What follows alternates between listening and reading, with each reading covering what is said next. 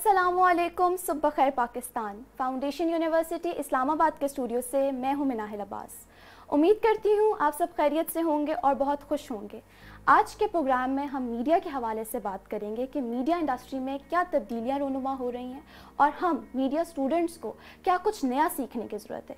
इसी सिलसिले में हम बात करेंगे सरफरीद रईस से, जो कि एक सीनियर सहाफ़ी और एक एंकर पर्सन है और गुज्त पंद्रह साल से शोबा सहाफ़त से वाबस्ता हैं। इनके साथ तशरीफ़ रखती हैं मिस उमुल बनीन मिर्ज़ा जो कि एक प्रोफेशनल सहाफ़ी हैं और फाउंडेशन यूनिवर्सिटी इस्लामाबाद में असिस्टेंट प्रोफेसर की खिदमत सर अंजाम दे रही हैं। कैसे हैं आप दोनों? बिल्कुल ठीक ठाक बहुत शुक्रिया। प्रोग्राम का आगाज़ करते हुए सर आपसे सबसे पहला मेरा सवाल ये है कि सहाफ़त का आगाज़ कहाँ से किया और क्या मुश्किल आई? अच्छा इससे पहले कि आपके इस सवाल का मैं जवाब दूँ पहले तो बड़ी मुबारकबाद। कि आप लोगों की माशाल्लाह इतनी अच्छी फैसिलिटी और आप लोगों के लिए अपॉर्चुनिटी। अच्छा लगता है कि जब आप स्टूडेंट्स और तमाम इस तरह की चीज़ों में ऑन दी हैंड ट्रेनिंग यहाँ से ले रहे हैं। तो कंग्रेचुलेशन मुबारकबाद आप तमाम लोगों को। शुक्रिया। अच्छा जहाँ तक बात है सहाफ़त की it was just an accidental साथी तौर के ऊपर मैं बुनियादी तौर के ऊपर कोई डिग्री तो मैंने नहीं ली थी जिस वक्त मैंने कोई सहाफ़त के शोबे में कदम रखा। अब बुनियादी तौर पे एक सॉफ्टवेयर इंजीनियर हूँ जो कि एक्सीडेंटली जो है वो आया मैं और उसके बाद then there was no looking back in 2004 uh, का सिलसिला था जब I was just hunting for the jobs और ऑल चीज़ें तो uh, तब पाक नाइन एलेवन हो चुका था। नाइन एलेवन के बाद पाकिस्तान की सॉफ्टवेयर इंडस्ट्री डाउन थी चीज़ें थी तो अप्लाई uh, मैंने at that time Aaj TV से मैंने आगाज़ किया था और uh, मैंने तो एज एन आईटी के शोबे के लिए मैंने अप्लाई किया था। मुझे नहीं मालूम था कि मेरी सीवी और उस पर लगी तस्वीर को देख के शायद वो मुझे कॉल कर लेंगे। और जब कॉल की तब भी मुझे यकीन नहीं था कि हो जाएगा। क्योंकि अमूमन मीडिया के शोबे के अंदर ख़ास तौर पे उस वक्त इलेक्ट्रॉनिक मीडिया इमर्ज कर रहा था उससे पहले रेडियो था। रेडियो की बड़ी इंपॉर्टेंस थी। आ, तो उसके अंदर एक कॉन्सेप्ट यही था कि चाहे वो रेडियो हो चाहे फिर वो टी हो जब तक आपके पास एक भरपूर तगड़ी सिफारिश ना हो या फिर आपके कोई जानने वाले ना हो आपके रिलेटिव ना हो तब तक आप एज अ टीवी पे या फिर रेडियो के पीछे माइक के उस पीछे या फिर कैमरे के सामने आप नहीं आ सकते थे। तो यही कॉन्सेप्ट था और नॉन सीरियस एटीट्यूड के साथ जब मुझे कॉल आई तो आप आ जाएँ आपका हमने ऑडिशन लेना तो बगैर किसी किसी उम्मीद के और बगैर किसी उसकी मैं चला गया था।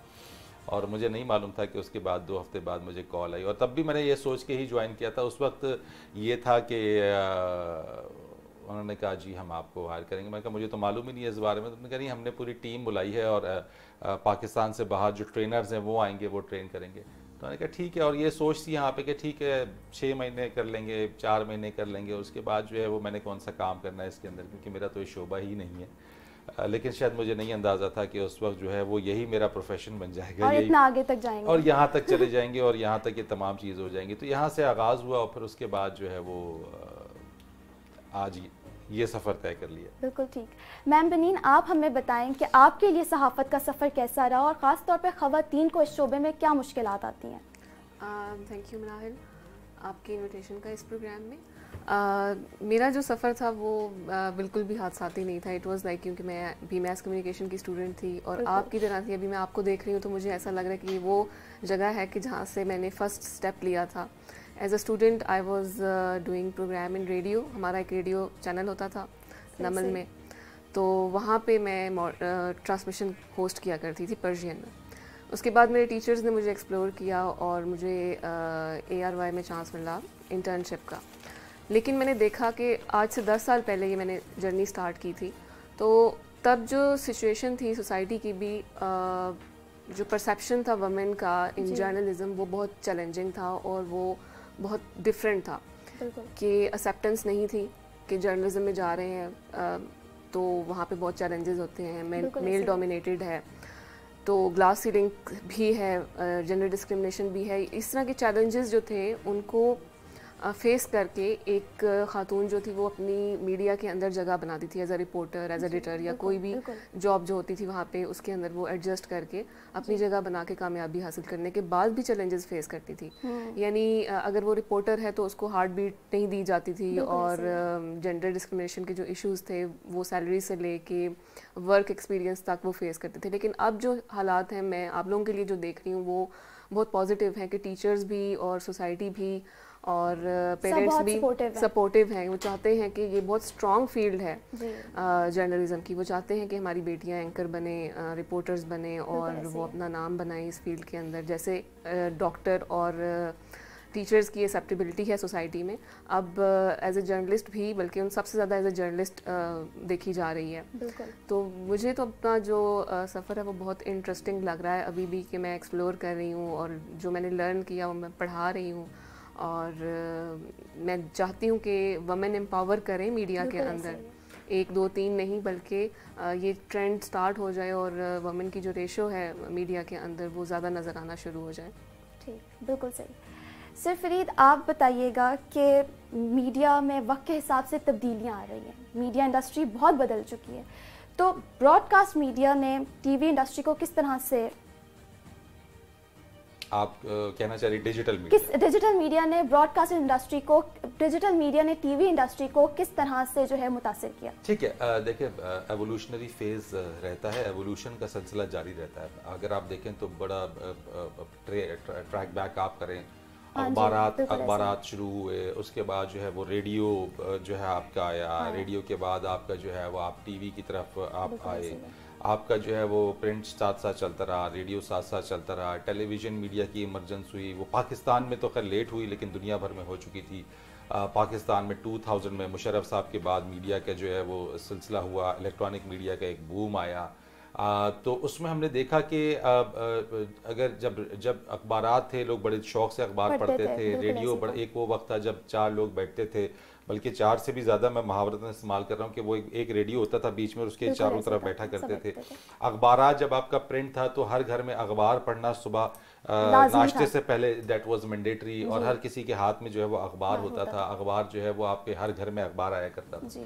लेकिन चूँकि एवोल्यूशनरी प्रोसेस है टेक्नोलॉजी अपने आप को इवॉल्व कर रही है आपकी इंटरनेट आपने इंटरनेट ने एक रेवोल्यूशन पैदा किया। आपकी जो है थ्री जी फोर जी आपके ब्रॉडबैंड आपकी जो है वो होम बेस्ड इंटरनेट ये तमाम चीज़ों ने एक रेवोल्यूशन लेकर आए और एवोल्यूशनरी प्रोसेस था वो तो चल ही रहा था।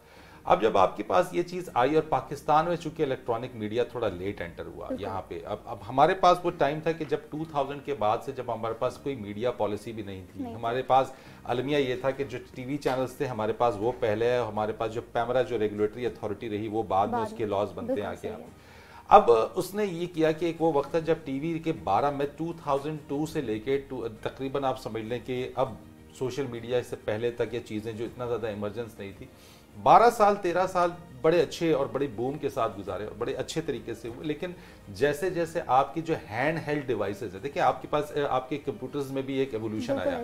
आपके आपके आपके आपके मैं बहुत ज़्यादा पीछे नहीं जाऊँगा लेकिन डेस्कटॉप्स थे आपके लैपटॉप्स थे आपके पाम टॉप्स हो गए और आपके पास जो है वो अब बिल्कुल ही आपके हाथ में जो है वो सब कुछ आपके पास मौजूद है। और उसके साथ साथ इंटरनेट कनेक्टिविटी है। अब उसने किया ये कि आपको तमाम चीज़ें आपने सोशल मीडिया जो डिजिटल मीडिया रहा आपका फेसबुक है आपका यूट्यूब है आपका इंस्टाग्राम है आपका ट्विटर है आपकी इंटरनेट बेस्ड वेबसाइट्स है उन तमाम चीज़ों ने आके उसको जो है एक तरीके से रिप्लेस करना शुरू किया। एक वो वक्त था जब आप इलेक्ट्रॉनिक मीडिया के ऊपर अपनी तमाम चीज़ों को बड़ी हाई हाइप मिलती थी। अब आपने देखा कि जैसे जैसे जो है वो with the emergence of the internet and with the emergence of the social media digital media की तरफ़ है। पहले टीवी जो सोशल मीडिया के जो टूल्स होते थे वो इतना ज़्यादा शायद टीवी उस, उससे मुतासर नहीं होता नहीं था।, था। अब हम ये देखते हैं कि आपके जो प्रोग्राम्स हैं आपके जो टीवी आपकी हेड प्रेस कॉन्फ्रेंसेज या आपके स्टेटमेंट्स जो है वो ट्विटर के ऊपर है। अब आपके ऊपर जो है वो फेसबुक के ऊपर। अच्छा उस पर भी मीडियम्स हैं लेकिन हम्म। लेकिन बहरहाल ये सोशल मीडिया की चीज़ें हैं।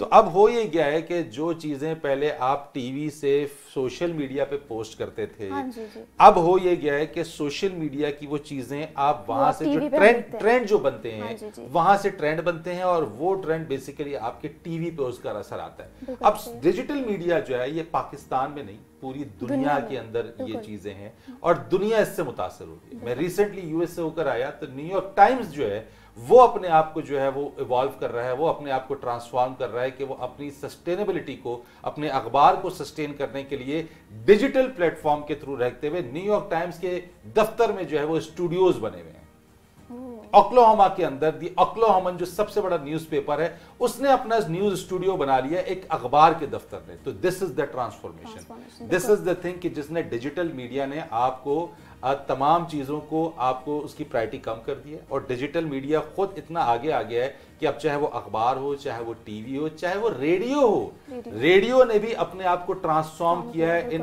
in line with this digital and the social media तो ये एक डे डिफरेंस है जो डिफरेंस हमें नज़र आ रहा है और उस चीज़ों के साथ हमें अपने आप को एम्ब्रेस भी करना चाहिए। बिल्कुल ऐसे ही है। मैम आपके लिहाज से तहकीक हर काम की बुनियाद होती है। तो डिजिटल मीडिया में किस हद तक तहकीक हुई है? अभी जो देखा जा रहा है दुनिया के अंदर जो ग्लोबल ग्लोबलाइजेशन की वजह से टेक्नोलॉजी जो है वो इंक्रीज़ हुई है तो डिजिटल मीडिया ने एक प्लेटफॉर्म फ्राहम किया है एज ए मीडियम के रिसर्च के अंदर एक्सेस देना क्विक लाइब्रेरीज़ के थ्रू या ई लाइब्रेरीज़ के थ्रू अब दो तरह की रिसर्चेज हैं। एक तो प्रैक्टिकल फ़ील्ड के लिए जो जर्नलिस्ट्स करते हैं ख़बर डिग आउट करने के लिए फैक्ट चेक करने के लिए। और एक रिसर्च है जो हम एकेडमिया के लोग जो करते हैं यानी उन्हीं प्रोग्राम्स का एनालिसिस या कंटेंट एनालिसिस या उनका सर्वे करना। जैसे यूएस में होता है या बाहर ममालिक में ऐसा होता है कि कोई प्रोग्राम अगर आ, दिखाया जाता है तो उसको उसका फीडबैक लेने के लिए उसका सर्वे किया जाता है और फिर रिसर्च देखी जाती है कि उसका क्या इम्पैक्ट पड़ा। हमारे यहाँ ये पाकिस्तान में ट्रेंड नहीं है इतना ज़्यादा अभी एकेडमिया के लोग इसमें कंट्रीब्यूशन दे रहे हैं। तो रिसर्च को एम्पावर जो है वो डिजिटल प्लेटफॉर्म्स कर रही हैं। क्यों कर रही हैं? कैसे कर रही हैं? वो ऐसे कि एक्सेस दिया जा रहा है ई लाइब्रेरीज़ का पूरी दुनिया की ई लाइब्रेरीज़ का। वन सिंगल टिप के ऊपर आप जो है वो एक्सेस ले लेते हैं। पहले क्या होता था कि बुक्स पीरियोडिकल्स अखबारों के थ्रू जो आप ब्रेकिंग था ठीक है? फिर आपके जो लाइव रिसोर्सेज होते थे यानी लोगों के साथ जाके इंटरव्यू करना। अब भी करते हैं लेकिन डिजिटल जो है मीडिया ने उसको हेल्प आउट किया यानी जो ट्रांसपोर्ट का और ट्रैवल का और चीज़ों को प्रोलॉन्ग करने का जो टाइम ड्यूरेशन लगता था उसमें वो उन्होंने कंप्रेस कर दिया है कि जैसे अगर मैंने आपसे कोई टॉक करनी है तो मैं ईमेल पे स्काइप पे कर सकती हूँ इसके अलावा अगर मैंने कोई दुनिया जहान की किसी भी कोई भी रिसोर्स का आर्काइव उठाना है तो मैं उस न्यूज़ ऑर्गेनाइजेशन की वेबसाइट को जिस तरह इन्होंने बताया कि न्यूयॉर्क टाइम्स ने सारा जो है कन्वर्ट कर दिया है ऑनलाइन प्लेटफॉर्म के ऊपर। उसका फ़ायदा क्या होगा? उसका फ़ायदा ये होगा कि जितने भी टीवी के या रेडियो के या जितने भी उनके प्रिंट के फॉर्म में जो भी प्रोग्राम्स हैं या उनके जो एंकर पर्सन है या उनके स्कॉलर्स हैं मीडिया के या एनालिस्ट हैं उनके साथ एक कॉमन पर्सन एक कॉमन व्यूअर जो है वो म्यूचुअली टॉक कर सकता है इंटरेक्ट कर सकता है उसको प्रॉम्प्ट रिस्पॉन्स आ सकता है वो कमेंट कर सकता है। मैंने मैं ऐसे बहुत सारे लोगों को जानती हूँ जो कि कमेंटर्स थे और वो रिसर्च का हिस्सा बने और फिर उन्होंने उसके ऊपर किसी भी टॉपिक के ऊपर किसी भी न्यूज़ के ऊपर किसी भी इंसिडेंट के ऊपर किसी हम्म। भी पॉलिटिकल कंपेन के ऊपर रिसर्च की। ठीक है? और जो भी डिजिटल मीडिया के टूल्स थे उनको यूटिलाइज किया उनको यूज़ किया और उनके इंटरनेट की कनेक्टिविटी का फ़ायदा उठाया। बजाय ये कि वो जाएँ यहाँ से ट्रैवल करें और बजट लगाएँ। तो हम्म। अब जो रिसर्च है वो बहुत इंस्टेंट हो चुकी है लेकिन इसमें एक प्रॉब्लम है। एक प्रॉब्लम क्या है? कि हमारे जो रिसर्चर्स हैं वो ये इश्यूज़ फेस कर रहे हैं कि उनको बहुत स्मोक डाटा मिल जाता है ठीक है? वो डिफरेंट वेबसाइट्स हैं डिफरेंट प्लेटफॉर्म्स ऐसे भी हैं जहाँ पे जंक इन्फॉर्मेशन आती है कॉपी पेस्ट की हुई इन्फॉर्मेशन आती है या या किसी एंगल को डिफरेंट तरीके से वहाँ पे लिखा हुआ होता है। तो वो जो रिसर्चर्स होते हैं यंग रिसर्चर्स होते हैं वो डिटेक्ट नहीं कर पाते कि ये ये वाली जो न्यूज़ सोर्स है या ये जहाँ से हम रिसर्च उठा रहे हैं या रिसर्च कर रहे हैं क्या वो ऑथेंटिक है भी है या नहीं, या नहीं। है, ये वाले जो प्रॉब्लम्स हैं इनको कौन आ, इनकी ट्रेनिंग कौन देगा? इनकी ट्रेनिंग हम टीचर्स देंगे जो कि बाहर से अगर ट्रेनिंग करके आए हैं या जो अभी नई नई जनरेशन के लिए हमारे सी ई जे पाकिस्तान में एक ट्रेनिंग सेंटर खुला है आई एस एफ़ जी के आई सी एफ़ जे के तावन से।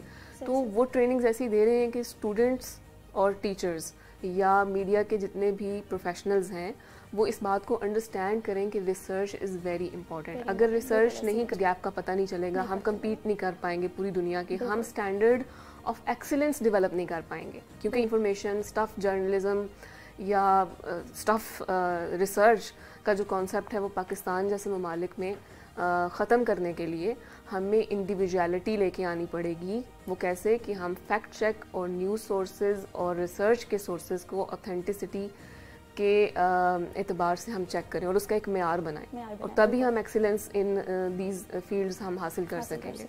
अच्छा मैं इसमें एक चीज़ ऐड और कर दूँ जो बात इसमें की है एक चीज़ बड़ी इंपॉर्टेंट है जो न्यूज़ के हवाले से किसी भी चीज़ की ऑथेंटिसिटी के हवाले से फेक न्यूज़ बड़ा प्रॉब्लम है। बहुत बहुत बड़ा प्रॉब्लम है और इस वक्त दुनिया भर में फेक न्यूज़ को एड्रेस करने के लिए बहुत काम हो रहा है।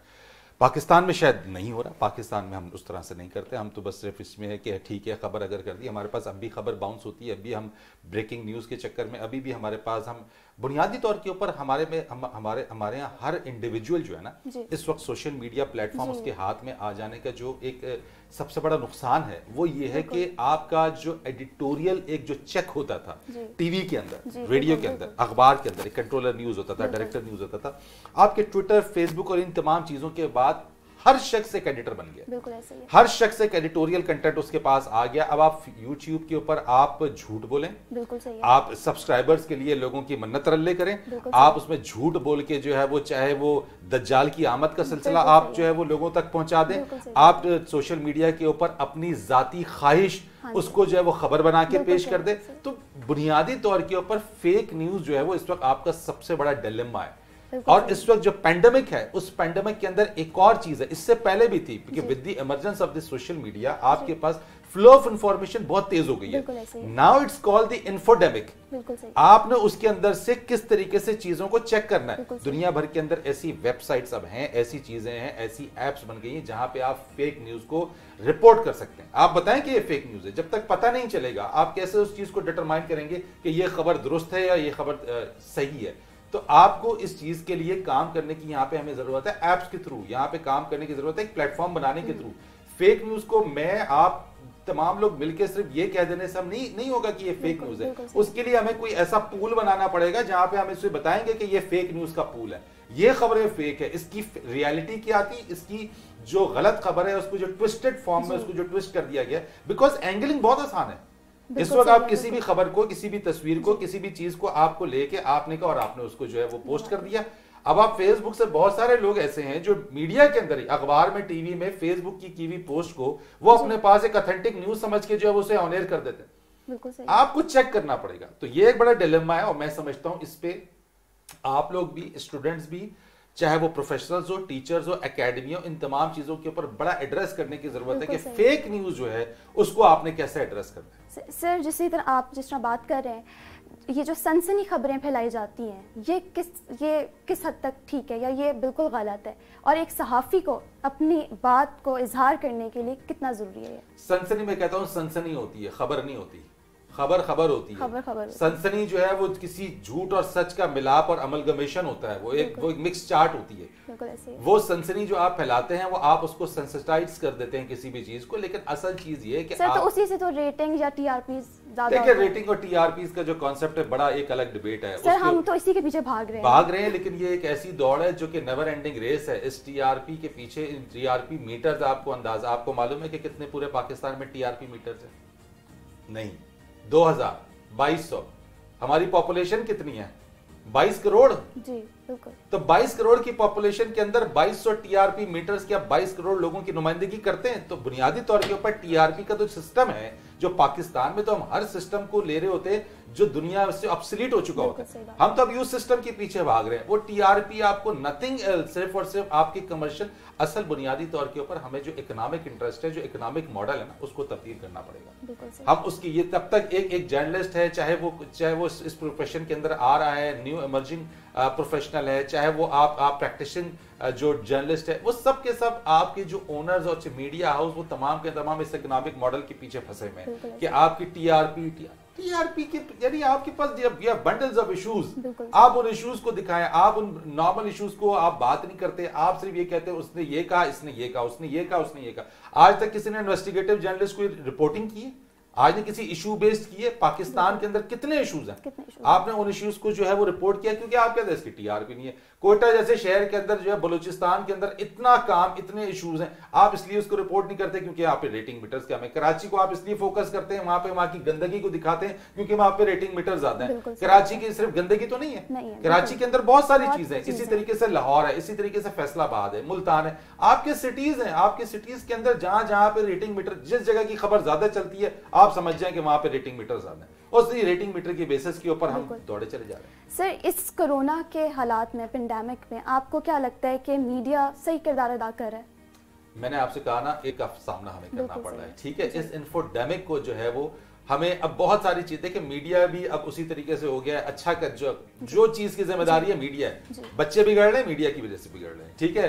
माशरे में खराबी पैदा हो रही है वो भी मीडिया की वजह से हो रही है। सर लेकिन हमें प्लेटफॉर्म भी तक मीडिया नहीं दिया ना। मैं मैं तो लोगों के सब जो बात कर रहा हूँ ना कि हर चीज़ का इल्ज़ाम मीडिया के ऊपर है ना। आपने ये नहीं किया यानी आप आप मीडिया वाले आपने ये नहीं किया। आपने ये नहीं किया आप ये गलत कर रहे हैं। यानी सब हम गलत कर रहे हैं। रिमोट आपके हाथ में है टीवी आपके हाथ में है उन तमाम चीज़ों का डिसीज़न आपके हाथ में है। किसी के घर में पानी नहीं आ रहा तो मीडिया वाले का ही दरवाज़ा खटकाया जाता है। बिजली नहीं आ रही है तो मीडिया वाले को कहा जाता है। थाने से बंदा छुड़ाना होता है मीडिया वाले से कहा जाता है। गलत काम करवाना होता है मीडिया वाले से कहा जाता है। और फिर उसी मीडिया को गाली दी जाती है। उसी को जो है वो कर्ज किया जाता है। उसको कहा जाता है सही काम नहीं कर रहा। बुनियादी तौर के ऊपर with in the given resources आप उन रिसोर्सेज के अंदर रहते हुए कोविड के अंदर खासतौर पर देखिए अवेयरनेस है। अभी तक मैं अगर ये कहूँ कि अवेयरनेस नहीं है अब लोगों का क्या करें? कोविड अगर है कोविड 19 अगर है मैंने तो ऐसे लोगों को सुना मैंने तो फ़ील्ड से जाके रिपोर्ट किया मैंने फ़ील्ड से काम किया। जब कोई मानने को तैयार नहीं है कि ये कोविड नाम की कोई चीज़ है, है नहीं तो आप उसको कैसे अवेयरनेस दे सकते? हैं आप ये कहें कि एक चीज़ एग्जिस्ट नहीं कर रही है then how can I give you an awareness बिल्कुल सही बात अवेयरनेस तो उसको दी जाती है जो ये मान नहीं जो ये एक्सेप्ट करे कि ये एग्जिस्ट कर रही है। ये सेल फ़ोन है। ना ये एग्जिस्ट कर रहा है। अगर आप कहें ये एग्जिस्ट नहीं करता तो मैं आपको इस बारे में क्या बता सकता हूँ? अब अगर लोग ये मानने अब लोग कौन मान रहे हैं? जिसके घर में क्लैमिटी हुई जिसके घर में कोई इफ़ेक्ट हो रहा है जिसका कोई प्यारा जिसका कोई अज़ीज़ जा रहा है। वरना लोगों ने तो यहाँ तक कहा मैंने लोगों से पूछा कि भैया आप बताएँ कि कोविड आपने मास्क क्यों नहीं पहना हुआ आपने इसकी प्रिवेंटिव मेजर नहीं क्यों नहीं किया? उन्होंने कहा हमें क्या कोविड होना है? हम तो सूरज के नीचे धूप के नीचे बैठे हैं धूप सेक रहे हैं हमें तो कोरोना नहीं होगा। पैंडेमिक के अंदर रहते हुए मीडिया का किरदार रहा है अच्छा किरदार रहा है। अब उस उस उसके अंदर आप आप आप कह रहे हैं हर चीज़ जो है वो मीडिया से किसी को दिखाया जा रहा है। तो भाई पैंडेमिक के अंदर और क्या दिखाएँ सीएनएन आप देख लीजिए।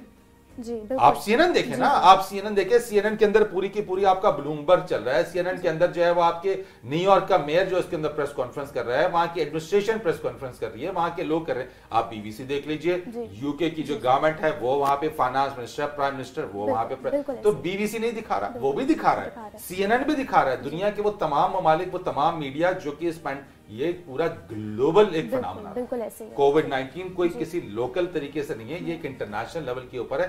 दुनिया का हर मीडिया इसको अपने अपने हिसाब से रिपोर्ट कर रहा था। मैं समझता हूँ जो चीज़ें हो रही थी उसके अंदर फॉल्स खबरें भी रही। फेक न्यूज़ भी रही है। मैंने आपसे कहा ना फेक न्यूज़ जिसको हम एड्रेस करते हैं वो फेक न्यूज़ भी रही है लेकिन उस फेक न्यूज़ को हमें एड्रेस करना पड़ेगा। लेकिन ओवरऑल मैं समझता हूँ it was it was good ji. Ma'am, आप हमें बताएँ फ्रीलांसिंग के बारे में कुछ और ये खातन के लिए किस तरह कमाई का ज़रिया बन सकता है? कि फ्री लांसिंग जो है, ये एक ऐसा वर्क करने का एक तरीका है कि जहाँ पे आप अपने आप को बॉन्ड नहीं करते किसी भी एम्प्लॉयर के साथ और आप इंडिपेंडेंटली अपनी सर्विसेज़ को फराहम करते हैं या अपनी प्रोफ़ाइल ऐसे मेंटेन करते हैं कि you are available to work but independently ठीक है? इसमें जो फ्री लांसिंग का कॉन्सेप्ट है वो उन लोगों के लिए है जैसे स्टूडेंट्स हैं या ऑलरेडी कोई जॉब कर रहे हैं लेकिन they they want to generate some extra income और they want to gain some experience या वो किसी प्रोजेक्ट का हिस्सा बनना चाहते हैं या उन वो या वो किसी स्किल को जानते हैं और उसके अंदर वो अपना कंट्रीब्यूशन देना चाहते हैं।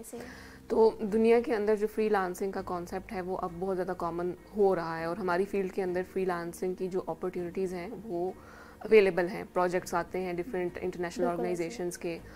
और जो स्टूडेंट्स के लिए हैं वो बहुत इंस्टेंट जो उनको पे पे कर दिया जाता है ताकि वो अपना एक्सपीरियंस बनाएँ विद देयर एजुकेशन इसके अलावा जो जर्नलिस्ट हैं हमारे और जो टीचर्स हैं वो भी फ्री लांसिंग करते हैं। ज़रूरी नहीं है कि freelancing is always a source of extra income no it's it's like like, uh, आप अपना नाम बनाते हैं फ्रीलांसिंग uh, के ज़रिए डिफरेंट ऑर्गेनाइजेशंस के साथ। जैसे मेरा एक्सपीरियंस रहा है डी डब्ल्यू के साथ प्रोजेक्ट uh, करते हुए एज अ फ्रीलांसर तो एज अ डबिंग आर्टिस्ट तो उसमें ये होता है कि आपकी कनेक्टिविटी बढ़ती है आपका जो नेटवर्क है प्रोफेशनल के साथ ज़्यादा ग्रो करता है और आप अपनी प्रोफाइल्स को इस तरह मेंटेन करते हैं या बनाते हैं या आपको चांस मिलता है डिफरेंट स्किल्स को अडॉप्ट करने का ताकि आप ज़्यादा से ज़्यादा एक्सपीरियंस हासिल कर सकें। ठीक है? आप अपने एक्सपीरियंस को यूटिलाइज कर सकें या आप अपनी स्किल्स को यूटिलाइज कर सकें। अब वमेन के लिए ये एक प्लस पॉइंट है। ऐसे कि कहीं कुछ सिचुएशंस के अंदर वो फिज़िकली नहीं जा पाते या उनके लिए पॉसिबल नहीं है कि वो फुल टाइम जॉब करें। तो बहुत सारी वमेन ऐसी हैं जो कि फ्री लांसिंग करती हैं। या लाइक वो स्टोरीज़ बनाती हैं मल्टीमीडिया स्टोरीज़ बनाती हैं ब्लॉग्स लिखती हैं कंटेंट राइट करती हैं वीडियोस प्रोड्यूस करती हैं। डिफरेंट ऑर्गेनाइजेशंस की हेल्थ इंस्टीट्यूशंस की उनको प्रोजेक्ट्स मिलते हैं वो अपनी स्किल को यूटिलाइज़ करते हैं उतनी ही इनकम जनरेट कर लेती हैं या शायद उससे ज़्यादा इनकम जनरेट कर कर लेती हैं जो कि एक परमानेंट जॉब में की जाती है। तो it's a it's a wonderful way of working ma'am थोड़ा डिफाइन करें कि इन हम किस खातन को किस स्पेसिफिक फ़ील्ड में जाना चाहिए? राइटिंग के लिए या फिर मीडिया में ऐसे सामने आना चाहिए? क्या क्या करना चाहिए?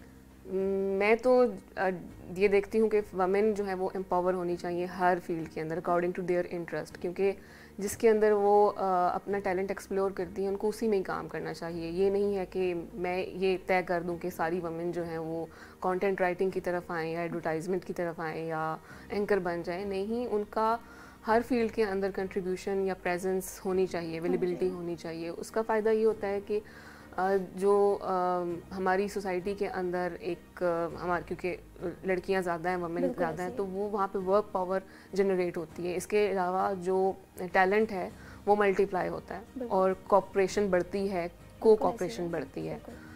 तो इसके नतीजे में हमारी जो सोसाइटी है वो इकोनॉमिकली ग्रो करती है।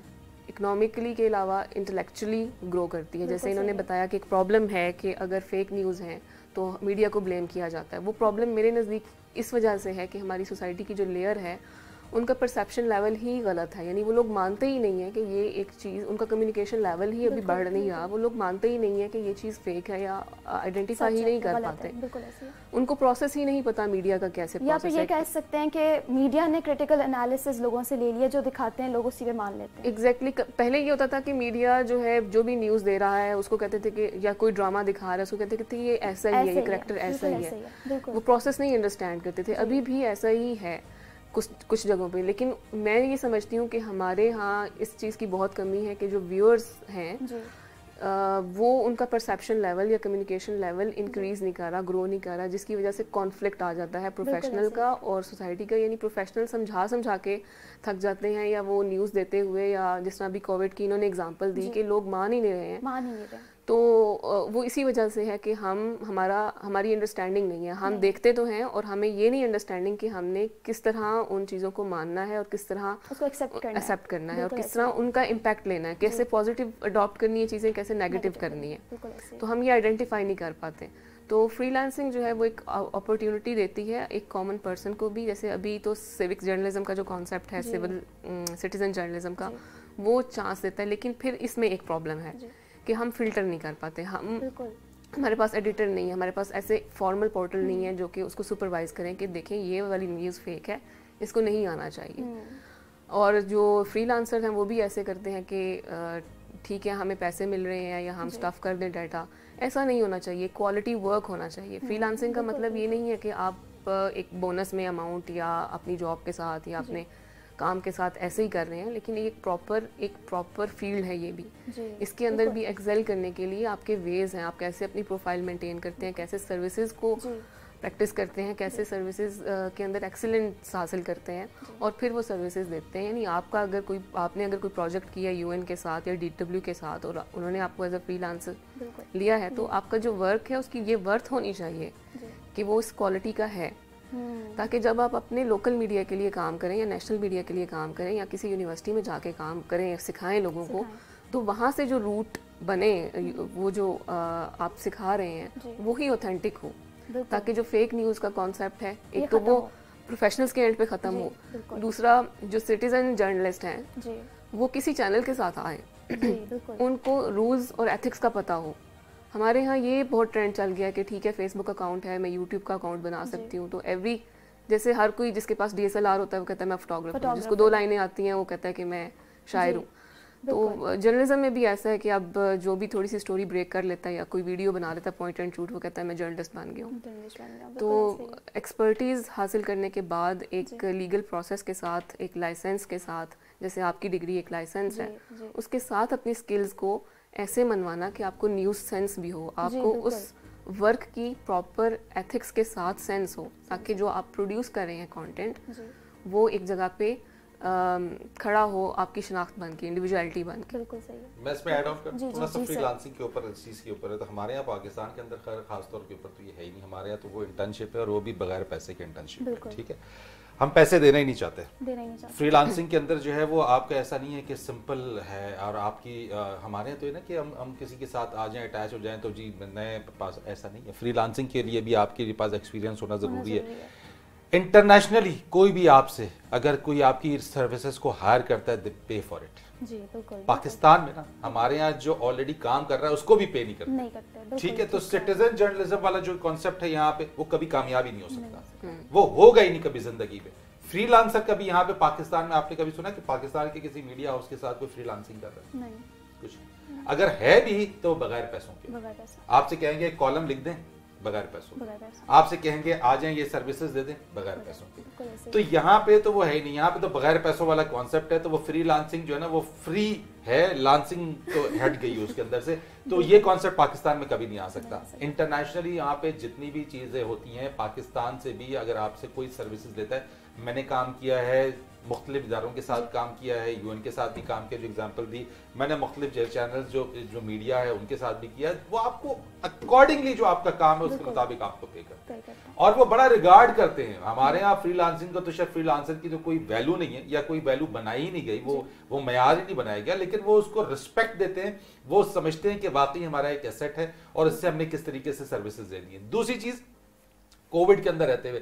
विमेन की बात की नहीं यहाँ पे। मैं आपको बताता हूँ हमारे यहाँ हम- हमने तो उस तरह से कोई चीज़ नहीं की। इंटरनेशनली बहुत सारी ऐसी ऑर्गेनाइजेशन है। और मैं आपको एग्ज़ाम्पल लाइव एग्ज़ाम्पल देता हूँ मैं।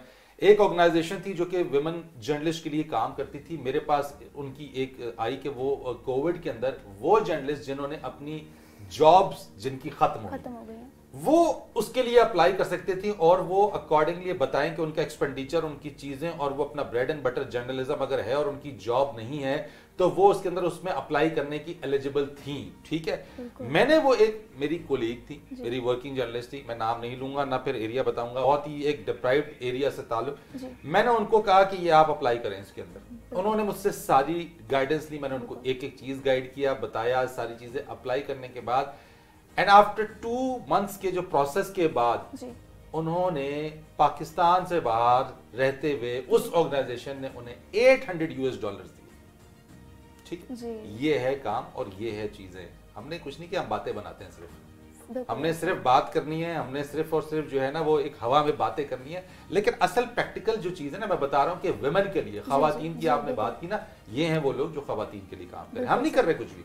एम्पावरमेंट है। अभी भी। मैं मैं जानता हूँ और मैं जो अभी बात की है मैम ने मैं 2004 के अंदर मैंने स्टेप इन किया था और मैं अच्छी तरीके से जानता हूँ कि 2005 के अंदर मुझे मालूम है कि जब मैं आज टीवी में था तो 70 percent of the female employees की जो सैलरी थी वो मेल से ज़्यादा थी। जी बिल्कुल जी। है। खातन को एज है ऐसा नहीं है। खातन के लिए अपॉर्चुनिटी ज़्यादा है। जहाँ पे खातून जाएगी वहाँ पर मैं नहीं कर रहा मैं मैं उसको जेंडर डिस्क्रिमिनेशन का नाम ही नहीं देता। मैं ठीक है एक आपके पास है अपॉर्चुनिटी आप दें और ज़्यादा से ज़्यादा दें।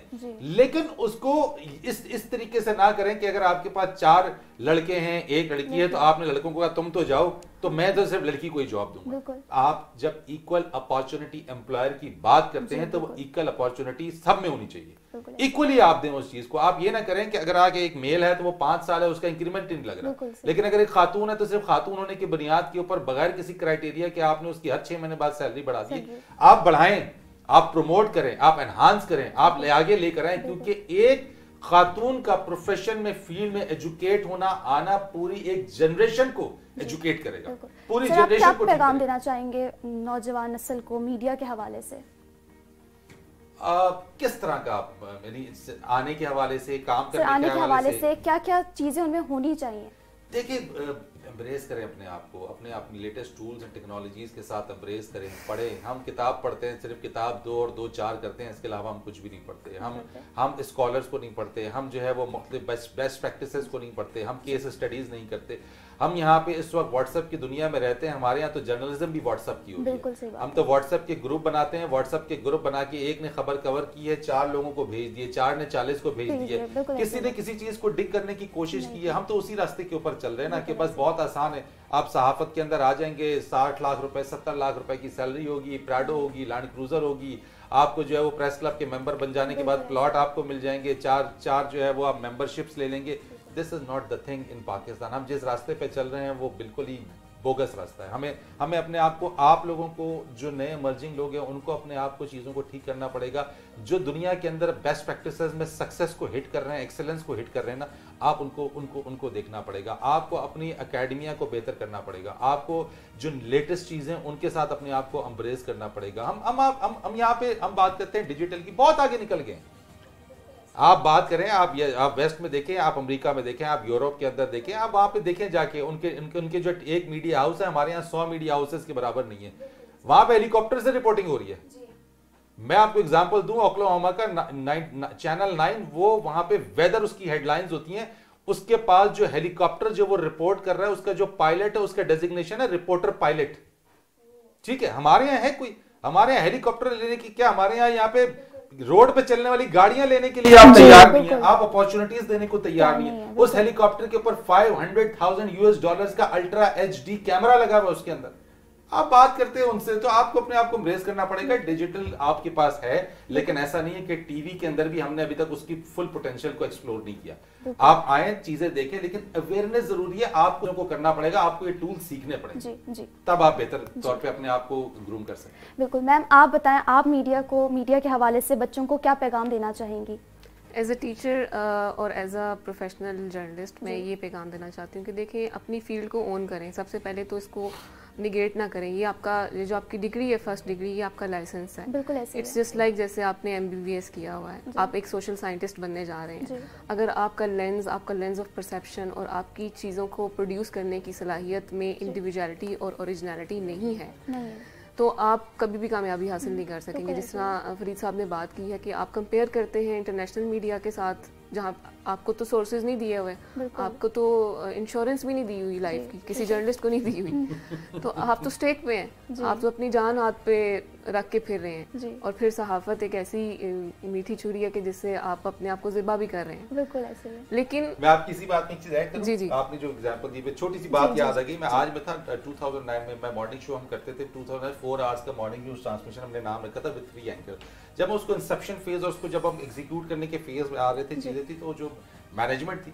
उसकी तरफ़ उन्होंने कहा देखें इस जो मॉर्निंग शो है ना फॉक्स न्यूज़ के मॉर्निंग शो को बीट करना है। हाउ हाउ डे कैसे आप कर सकते हैं? उनकी रिसोर्सेज देखे उनके पैसे देखे उनकी इनके इंसेंटिव देखें उनकी बेनिफिट देखे उनकी टेक्निकल चीज़ें देखें या आवाज़ ठीक नहीं आ रही होती है। या डीएसएनजी की कनेक्टिविटी नहीं हो रही होती है। वीडियो लिंक बारह चौदह साल हो गए वो आज तक ठीक नहीं हो सके। आज तक जिन इदारों में ऑडियो के इश्यूज़ थे वो चौदह साल बाद भी वहाँ पे ऑडियो के how how dare how come you can compare with the Fox News morning show and a morning show on on a national level आप आप रिसोर्सेज दें। आप लेकर तो आए ना। आप 2200 सीसी 2800 सीसी की गाड़ी के साथ आप कह रहे हैं कि आपने साइकिल से रेस लगानी है। एप्पल टू एप्पल कंपैरिजन होता है। कभी भी और यानी जिसे elephant and apple and ant वो कंपैरिजन कभी नहीं बिल्कुल। हमारा जो वर्किंग कल्चर है ना जैसे इन्होंने बात की है वो ही ठीक नहीं है। पहले तो उसे ठीक करने की ज़रूरत है और वो हमने मिलके करना है। और वो हम तभी कर सकते हैं जब हम अपने आप के साथ सिंसियर होंगे अपने काम के साथ सिंसियर होंगे और हम एक टारगेट सेट करेंगे कि ये मैंने करना है इसको मैंने किसी के साथ कंपेयर करते हुए अगर करना है तो वो मैंने सीखने की गर्ज से करना है क्योंकि हमें पता है हमारे पास रिसोर्सेज नहीं है। हमें पता है कि हमारी तो अगर कोई खुदा ना खासा डिजास्टर आ जाता है तो उसके अंदर हमारी जर्नलिस्ट की जाने चली जाती हैं because there is no insurance there is no SOP उसको कोई देखता ही नहीं है कि हम कैसे अपना जर्नलिस्ट भेज रहे हैं। तो बहुत सारे प्रॉब्लम्स हैं पाकिस्तान के अंदर बहुत सारे चैलेंजेस हैं जो कि आप लोगों ने फेस करने हैं लेकिन आप लोग डिजिटल नेटिव्स हो। आप लोग आप लोगों ने ट्रेंड सेट करना है आप एसर्ट हो जिन जिन्होंने नए ट्रेंड सेट करने हैं। लेकिन अगर हमारे स्टूडेंट्स ही कामचोर होंगे या हम हम एज अ टीचर या हम एज अ टीम या हम एज अ जर्नलिस्ट हम रिलाई नहीं कर पाएँगे अपने जूनियर्स के ऊपर या हमारे जो कैमरा पर्सन है या टीम आ, हमारी टीम है अगर हम उनके काम के ऊपर रिलाई नहीं करेंगे तो हम प्रोड्यूस कैसे करेंगे? हम अपनी अपनी फ़ील्ड को डेवलप कैसे करेंगे? हम पीछे क्यों हैं? हम पीछे अपनी वजह से ही हैं। अपनी वजह से क्योंकि हमने कभी ये जाना ही नहीं है कि हम में कितना टैलेंट था और हम हम कॉपी पेस्टिंग कंपैरिजन और रैट रेस के ऊपर चल रहे हैं लेकिन हम वहीं के वहीं खड़े हुए हैं। तो हमारे लिए ज़रूरी है कि हमने अगर एक्सेलेंस अवेल करनी है तो सबसे पहले हमने रूट से अपने एकेडमिया से वो चीज़ स्टार्ट करनी है कि जो हमारे प्रोडक्ट है आप लोग यूनिवर्सिटी के स्टूडेंट्स हमारा प्रोडक्ट हो। हमारी नेशन का हमारे जर्नलिज्म का हमारी फ़ील्ड का फ्यूचर हो। जी। तो अगर आप लोग अपने आप में इंडिविजुअलिटी देखो और अपनी न्यूज़ सेंस डेवलप करो अडॉप्ट करो और ट्रू वेज के साथ पूरे ग्लोबल मीडिया को देखो। कि कहाँ पे क्या इक्विपमेंट्स हैं। आपको नॉलेज होने चाहिए। मेरे ऐसे स्टूडेंट्स हैं जिनको जिन्होंने प्रोड्यूस किए हैं बहुत सारी स्टोरीज जिन्होंने फिल्म्स प्रोड्यूस की हैं। और ऐसे भी स्टूडेंट्स हैं जिनको ये नहीं पता कि ए एफ़ पी क्या है या ए पी पी क्या है? जिस यहाँ पे दुख होता है कि आपने पूरी डिग्री आप कंप्लीट करने वाले हैं लेकिन आपको नहीं पता ए एफ़ पी क्या क्या है। है, आपको नहीं पता कि फॉक्स न्यूज़ कहाँ से ऑपरेट कर रहा है या सी बी एस फोर क्या है या बी बी सी क्या है या अल जजीरा क्या है। तो यहाँ पे जो गैप्स हैं वो स्टूडेंट्स की ज़िम्मेदारी है कि वो उनको फिल करें। बिल्कुल ऐसे ही है। बहुत शुक्रिया सर फरीद आपका और मेम्बरीन आपका कि आपने अपने बिज़ी स्केजुअल में से हमारे लिए टाइम निकाला। आप लोगों का क्या आपने बुलाया। थैंक यू तो हाजरीन, आज की आज के प्रोग्राम से इतना ही। अपना ख्याल रखिएगा। दोबारा मिलेंगे एक नए प्रोग्राम, कुछ नए मेहमानों के साथ। तब तक के लिए खुदा हाफिज़।